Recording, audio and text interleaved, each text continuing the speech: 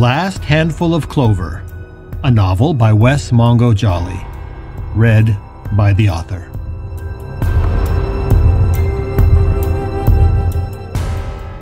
Book 2 Gifts Both Light and Dark.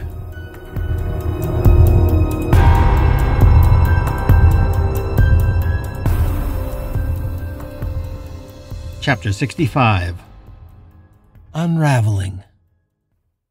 June 15th, 12:10 p.m.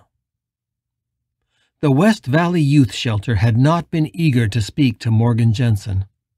But after a string of suicides among the homeless population of West Valley City, including two residents of the shelter itself, they clearly felt they didn't have a choice. It's either that or my sparkling personality, Morgan thought.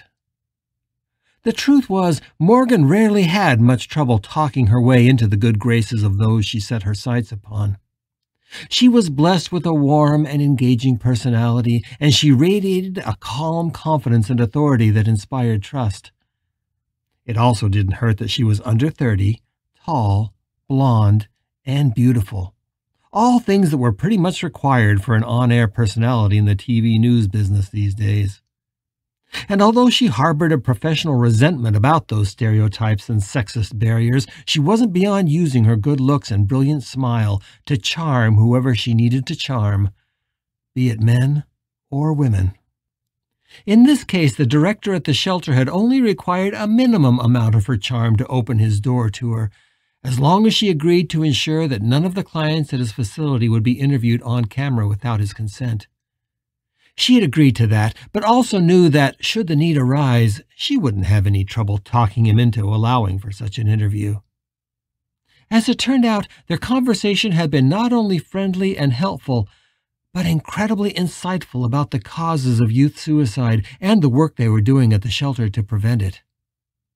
After an hour long interview, Morgan felt she had enough footage to put together a meaningful piece, even if she didn't speak to any of the clients of the shelter directly. At the end of the interview, the director had even agreed to let her do a live shot from the corridor. The station had asked her to do a teaser at 12:15, just before a commercial break on the noon news. Morgan looked at her notes and read over what she was going to say. "Hey, Stan, let's do a dry run on this while we have a few minutes," she said. Stan Kirschner was her cameraman and had worked with her for so long that he always knew what she wanted, often even before she did. He looked at his watch and grunted. His camera was all set up and ready to go. Should I run a tape, or do you just want to wing it? Wing it, I think. I just want to talk it through before we go live. We have enough time, I think. You got about two minutes. Go when you're ready. Morgan cleared her throat and stared at the camera as if it was actually capturing her, although the little red light was off. This is Morgan Jensen on location at the West Valley Youth Shelter. This facility has been rocked by tragedy twice in the past 10 days. Suicide is a growing problem among the youth of the Salt Lake Valley, and nowhere is it more acute and more heartbreaking than it is among those kids who don't have a place to call home. We've been talking to the staff here at the shelter about what causes homeless youth suicide and what can be done to prevent it. What they told us may surprise you. We'll have the whole story on the evening report tonight, right here on KUTV. She paused. That should work. Phil or Brenda might ask a couple questions, but if not, that should make a good teaser. Sounds awesome, Stan said. You're nothing if not supportive, my dear, Morgan said with a laugh. How long before we go live? Looks like about a minute and ten seconds. We've got the Lincoln. We're ready to go. She double checked her mic and began to count down the last 60 seconds in her head. She was already thinking about how she might use the afternoon to try and talk to some of the kids here. There was less than 30 seconds from the handoff, and Stan was suddenly looking grave. He had his hand to his earpiece and was staring into space. Morgan, you need to hear this, he said, tapping his earpiece. Something weird's going on. Morgan was just reaching for the mute switch on her belt pack when the sound of screaming and crashing came from down the hallway. Despite her curiosity about what Stan was hearing on his earpiece, the sound made her jump almost out of her skin. This wasn't somebody dropping a stack of dishes. This was something much, much worse. Turning to look behind her, she could see nothing but the open door of the cafeteria. They had passed it earlier in their tour, and the staff in there were making lunch for the 30 or so kids currently in the facility. Later, she would call it instinct. By all rights, she shouldn't have abandoned the live shot that was coming up in just seconds, but something told her that what was happening through that door down the hall was far more important and far more consequential than the live bumper for her report on tonight's nightly news. Live shots off, she yelled over her shoulder. Follow me! But as she suspected, Stan had already seen her moving and was detaching the camera from the tripod. Rolling, he shouted, and was only a half dozen steps behind her as they darted down the hall. Kids who were in the day rooms were pouring out and heading toward the commotion. Tough-looking kids, both male and female. The dining room was separated from the main corridor by a pair of swinging doors. The room was empty, but as Morgan crashed through the door, she could pinpoint the commotion. The door from the lunchroom into the kitchen in the back was propped open, and Morgan could see that the staff had just been loading the day's lunch items into the steam tables when something had happened. A tray of lasagna was smeared across the floor, and steam rose from it in lazy swirls. Whatever was happening was through the open door of the kitchen and the screaming now was so loud and continuous that it even gave Morgan's hard-nosed reporting instincts pause. She stopped to take stock of the situation, but a handful of kids were already behind her and pushing their way into the lunchroom.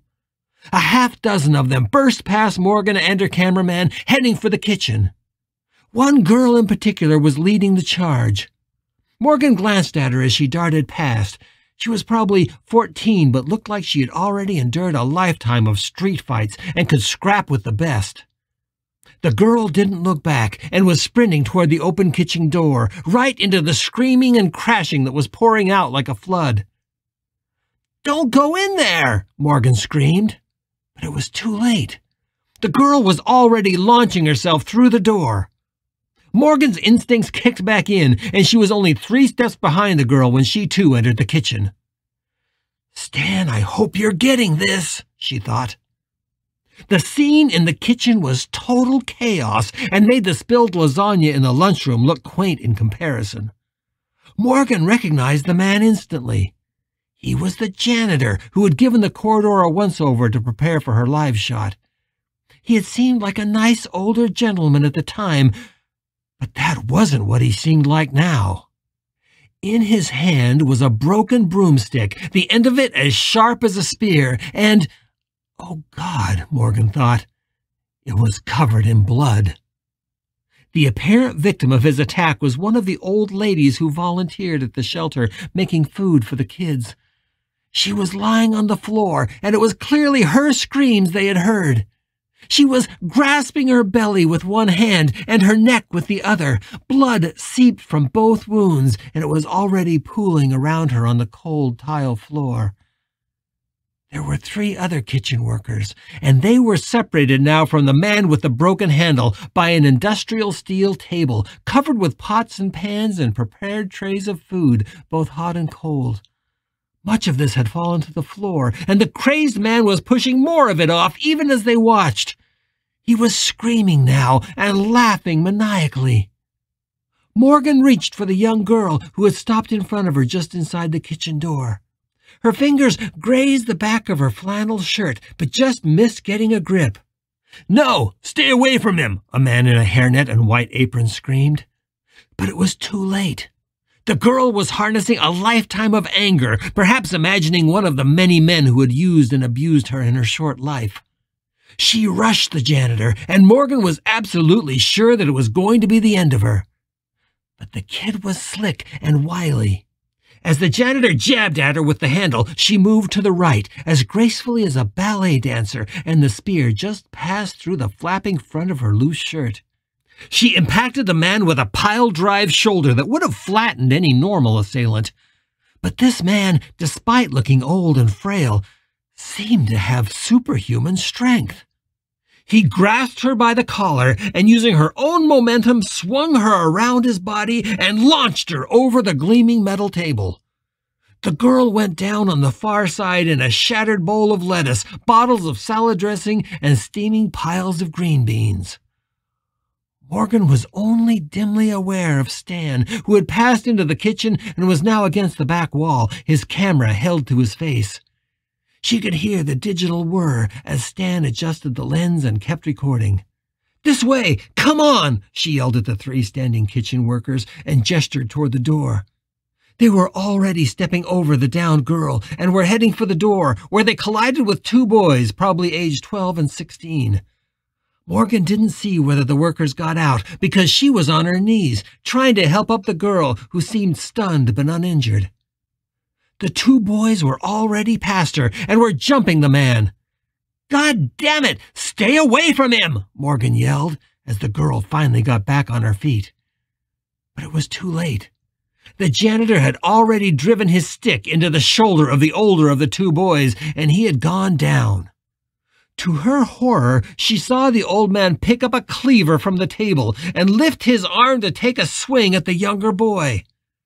The kid grabbed the man's wrist and was forced back onto the table, the sharp blade dangerously close to his face. Morgan was suddenly aware that she was standing next to the stove, and on it was a gallon saucepan full of water that was at a full rolling boil. Without a second thought, she grabbed the pan, took three steps forward, and dashed the contents directly into the man's face. Her aim was square, but some of the boiling water also splashed onto the boy's hands, and he cried out. It caused him to let go of the man's wrist, but luckily the blade came down just over the boy's left shoulder, actually piercing the steel table. And there it stayed, as the boy rolled onto the floor and the assailant stumbled back against a row of pots and pans, spinning and wailing like a wounded tiger. The sound of the pans falling punctuated the man's demented screams as he clawed at his face, which was already as red as a tomato and blistering. All at once, the man went limp and crashed to the floor among the pots and pans. And just for a moment, he was still and silent, a look of shock and horror on his face. All the man's fight suddenly left him, and he was still and silent. The kitchen, in that instant, was like a giant lung that had expelled all breath. All Morgan could hear was the groaning of the stabbed woman on the floor and the gasping of the two injured boys. The janitor himself looked as still as death. But then he took in a sudden, gasping breath and let out a scream his eyes darting wildly around the room. It's like he's waking up from a trance, Morgan thought, even as she stepped back in horror. The burns on the man's face were swelling into blisters, and his irises were strange and cloudy, as if he hadn't even closed his eyes against the burning water.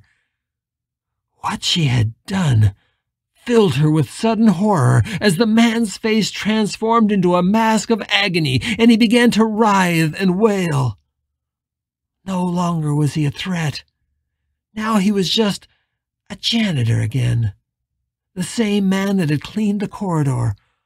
Old and frail and confused, he writhed on the floor, clawing at his face, as if he had no idea what had happened to him.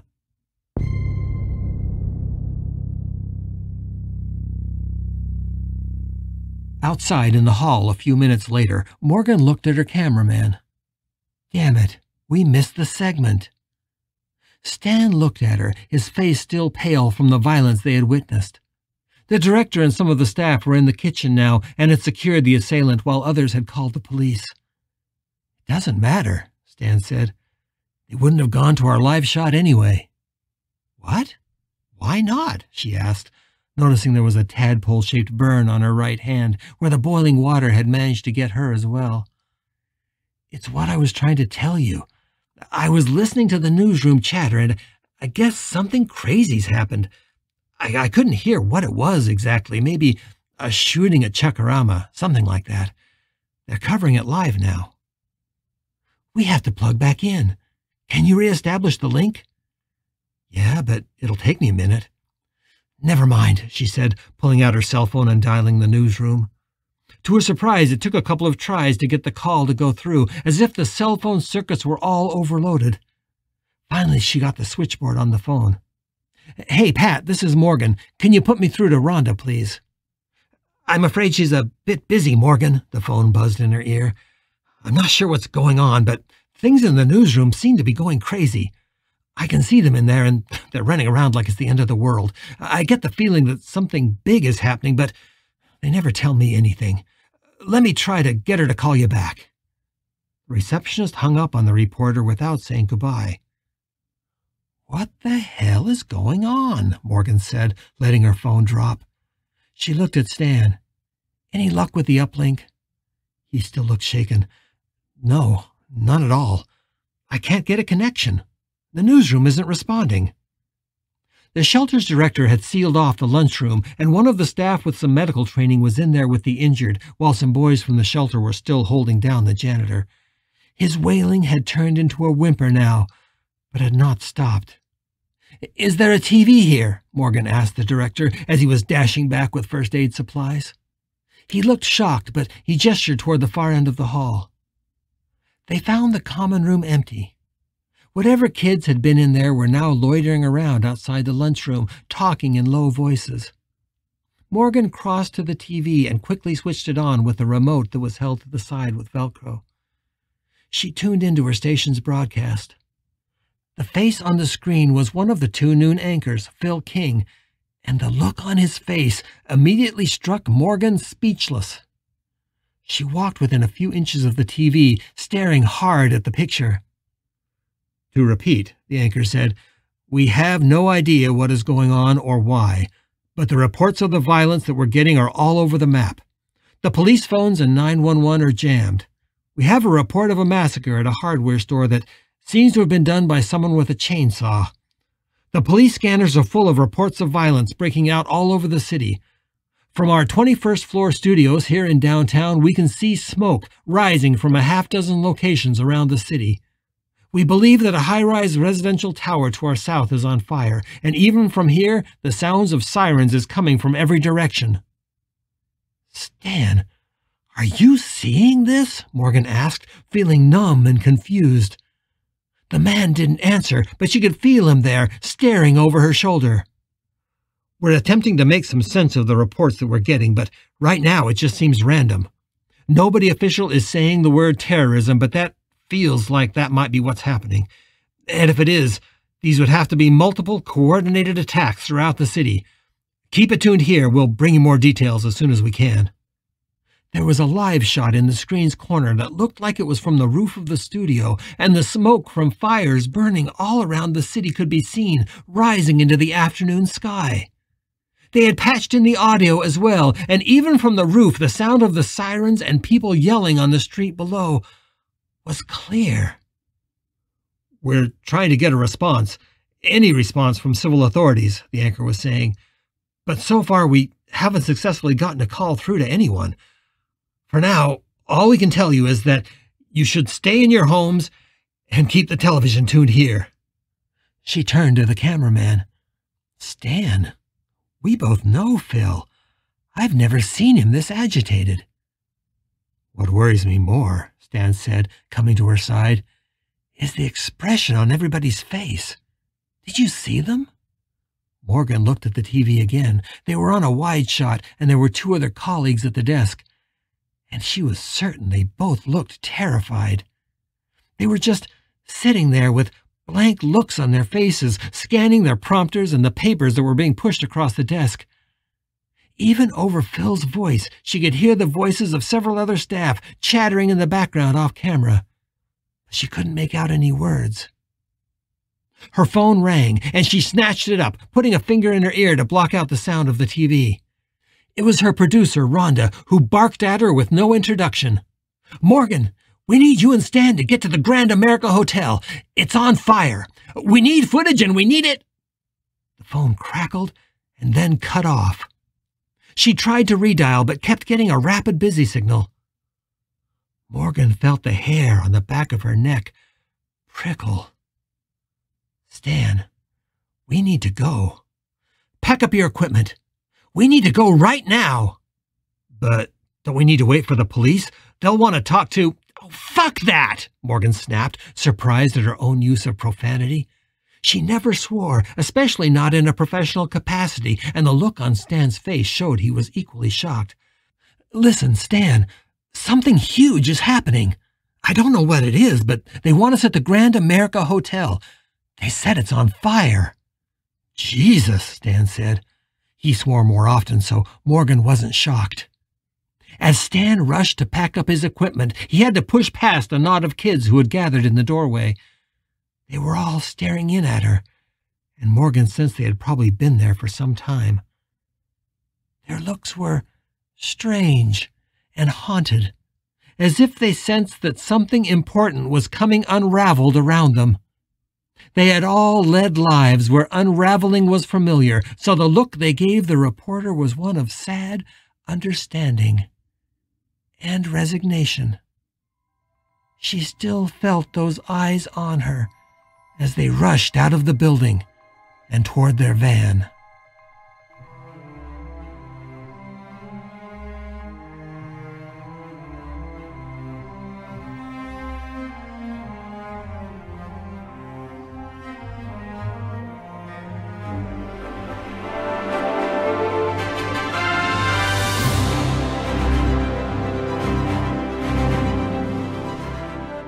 You're listening to The Last Handful of Clover, a novel by Wess Mongo Jolley. If you're enjoying this audiobook, please consider supporting the author on Patreon. That's patreon.com slash Wess Mongo Jolley. And for more information, check out the author's website at wessmongojolley.com. That's W-E-S-S M-O-N-G-O-J-O-L-L-E-Y dot com. Thanks for listening and stay tuned for more episodes.